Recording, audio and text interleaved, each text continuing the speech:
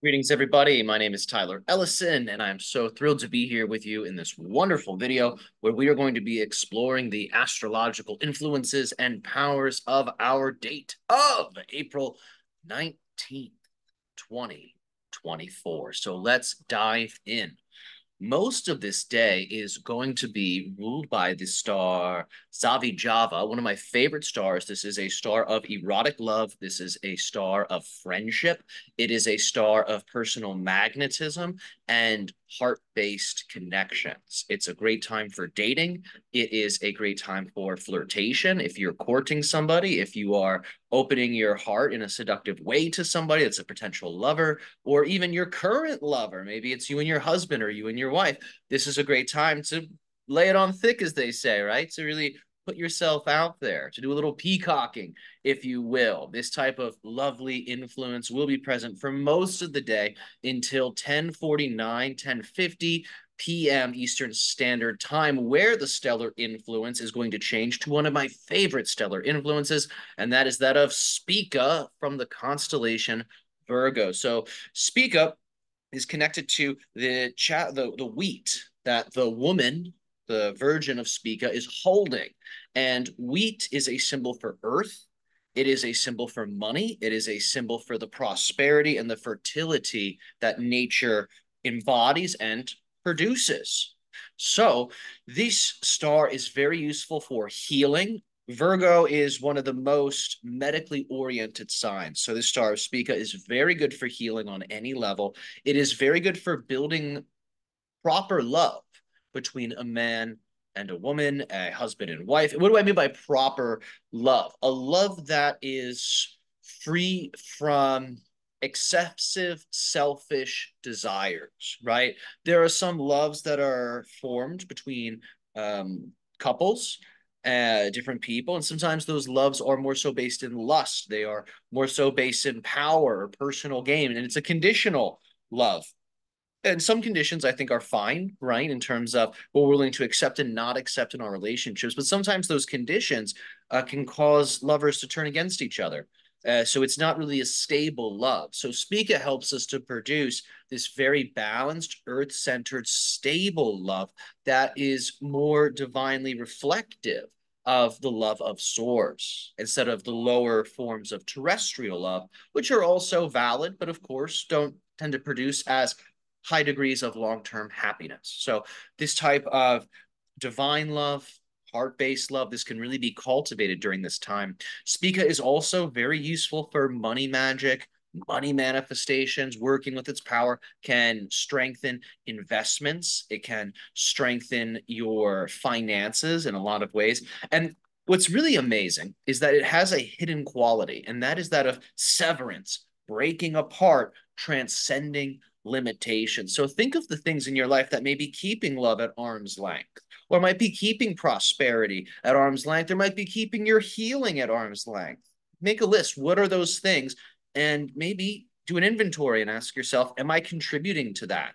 Am I contributing to that limitation? And if you find that the answer is yes, and that's the case for so many of us, myself included, this is a great time to harness this Spican power and to destroy the limitations. And I use that word destroy. It's a very masculine, powerful word. And I think in Western society, because of all the wars that have happened, we shy away from using destruction as a power. But nature, which we are, clearly uses destruction regularly in its maintenance of life. A little bit of destruction is needed to create the limits. Too much destruction, and well, you've melted your uh, ice sculpture, whatever the hell you're you're making, right? Too much destruction, we destroy the conditions for life to exist. So we are like this. If we become pure Mars embodiments, it's too much destruction, right? That might be a lot of fire, and we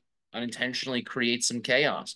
We need a little bit, though, to help us refine our personalities, to help us refine our energies, to cut off the dead branches, so to say, to cut off the vines that might be growing up your tree of life, right?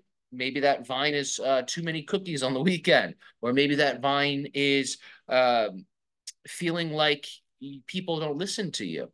And as a result, you don't express yourself. Well, you can use the Spican energy to obliterate those blockages. And I encourage, you know, play around with that fiery energy.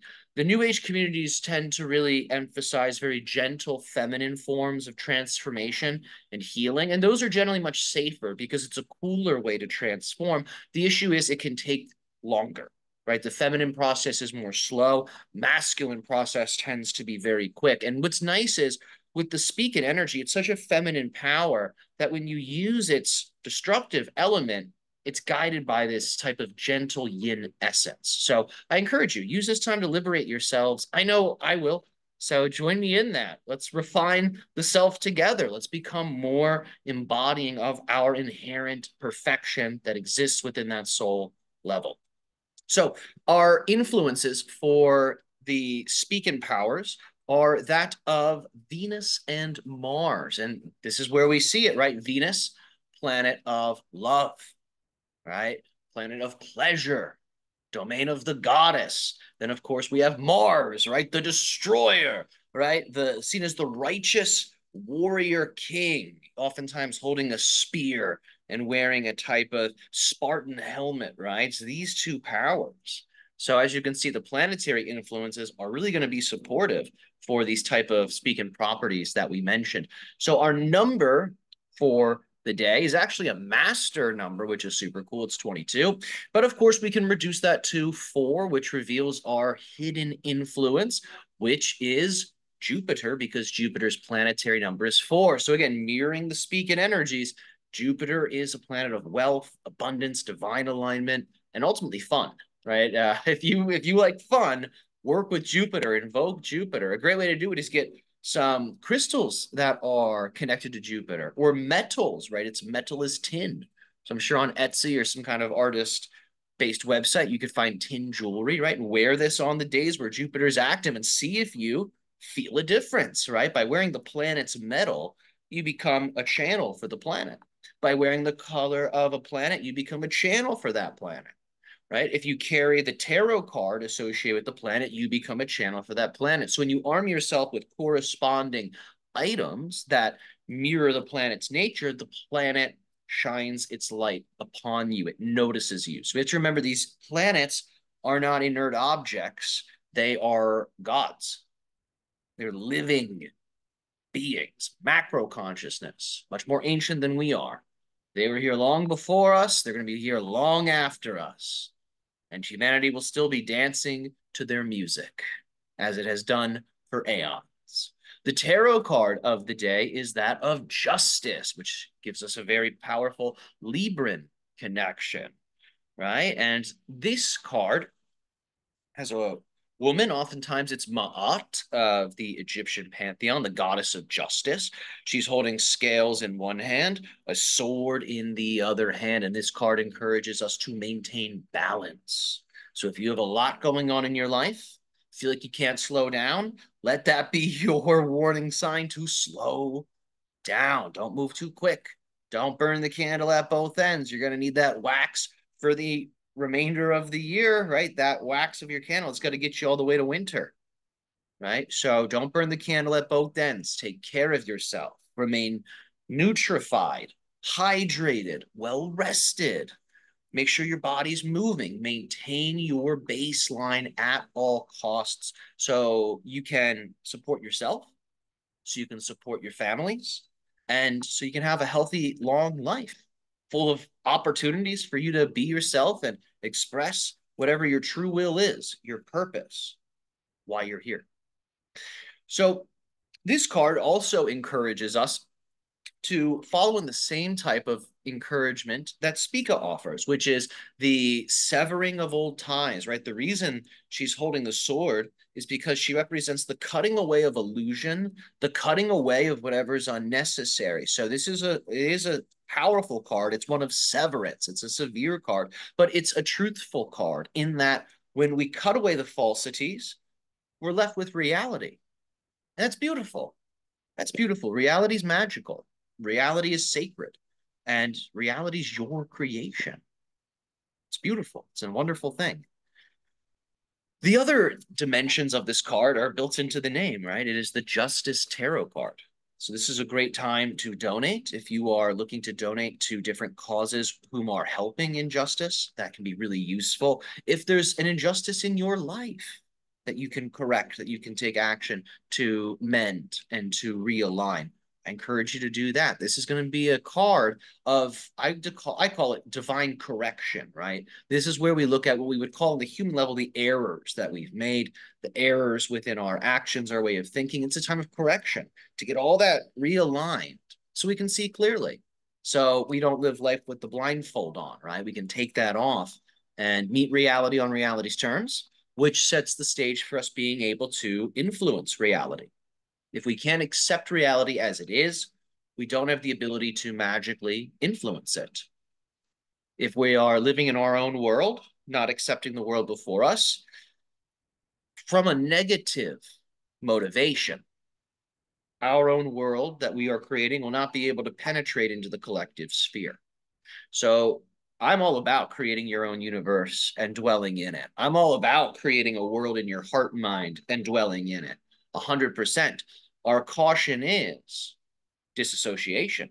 We don't want to become so wrapped up in our own world that we're not matching, you could say, the energy of the room, right? If we're not meeting reality on reality's terms, if we're not having that connection with others, then we can be in our own world, but no one's going to be able to meet us there. So if you're creating a magical universe, remember, you have to be able to bring the world with you right? Because the world is an extension of you.